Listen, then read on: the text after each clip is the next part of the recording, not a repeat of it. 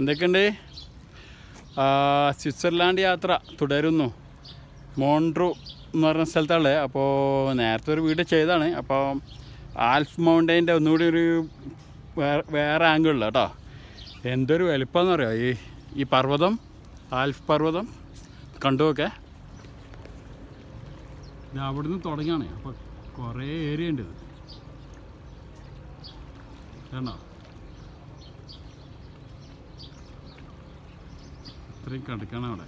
അപ്പം അങ്ങാണ്ടോ? വേറെ. ഇതൊക്കെ.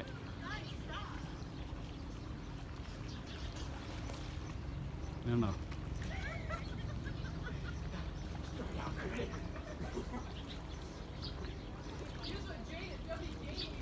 ഇത്രയും കിടക്കാണ് ആൽഫ് മൗണ്ടൈൻ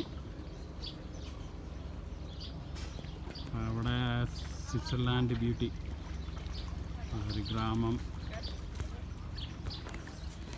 ഈ ആൽഫ് പർവതം നല്ലതാണ്. ചുറ്റുവട്ട ഇതിന്റെ ചുറ്റുവട്ടത്ത് കുറേ രാജ്യങ്ങളുണ്ട്. മറ്റേ ഓസ്ട്രിയ ജർമ്മനി ഫ്രാൻസ് സ്വിറ്റ്സർലാൻഡ് ഇങ്ങനെ പറയുന്ന കുറേ രാജ്യങ്ങളിങ്ങനെ ചുറ്റും ഇങ്ങനെ കിടക്കാനേ ആൽഫ് പർവതത്തിന്റെ അപ്പോൾ ഭയങ്കര രസമാണ് പ്രത്യേക ഒരു വൈബ് എന്താ വെച്ചാൽ അടിപൊളി.